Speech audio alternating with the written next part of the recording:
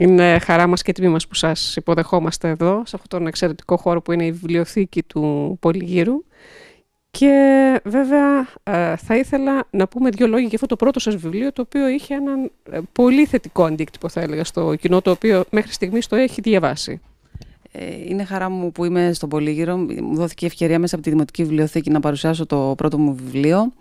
Ε, ο τίτλος του είναι «Οι Ελαιώνες του Βερολίνου». Ε, όπως θα ακούσατε και εσείς από το κοινό που παρακολούθησε την παρουσίαση, υπάρχει γενικώς μια απορία για το αν υπάρχουν ελαιώνες στο Βερολίνο.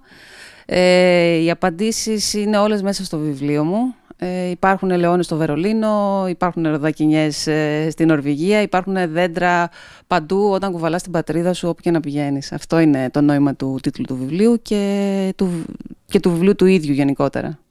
Ποια είναι η ιστορία του, έτσι, με μία μικρή, μικρή τοποθέτηση.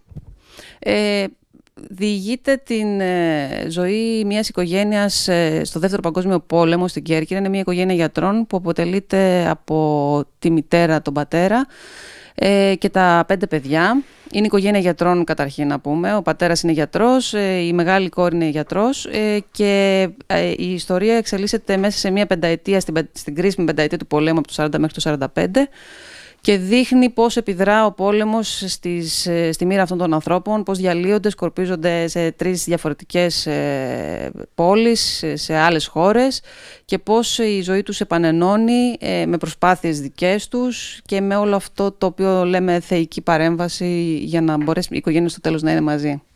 Θέλω να ρωτήσω το εξής: Πώς ένας νέος άνθρωπος, ο οποίος δεν έχει τέτοιου είδους βιώματα, μπορεί να αποτυπώσει ε, αυτή την κατάσταση στην οποία περιγράφεται. Ε, το βιβλίο δεν είναι αμυγός ιστορικό με τη ιστορία, με την έννοια ότι ε, επιδρά περισσότερο και παρουσιάζεται περισσότερο η μυθοπλασία ε, παρά τα ιστορικά γεγονότα. Ωστόσο, για να μπορέσω να, τα, να εντάξω κάποια από αυτά μέσα στη μυθοπλασία μου, έχω κάνει μια ιστορική έρευνα, μια μελέτη σε σχετικά αρκετά μεγάλο βάθος, για να μπορέσω να μην είμαι ε, να μην δώσω κάποια ασφαλμένα δεδομένα στον αναγνώστη. Ε, είναι όμως μια εποχή, ο Δεύτερος Παγκόσμιος Πόλεμος, για την οποία έχουν γραφτεί πάρα πολλά. Ε, είναι μια πάρα πολύ γοητευτική εποχή που άλλα τα μαθαίνεις και άλλα τα φαντάζεσαι.